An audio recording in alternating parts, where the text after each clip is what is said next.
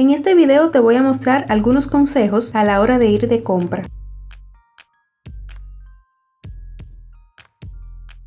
Cuando no sepas qué ponerte, usa esta combinación. Ropa negra, labios rojos, accesorios dorados y cabello suelto.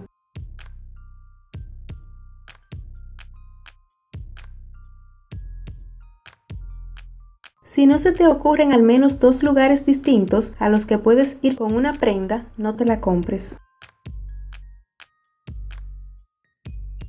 Prueba unas cuantas prendas que pienses que no son tu estilo. Es una manera increíble de salir de la rutina y descubrir cosas nuevas.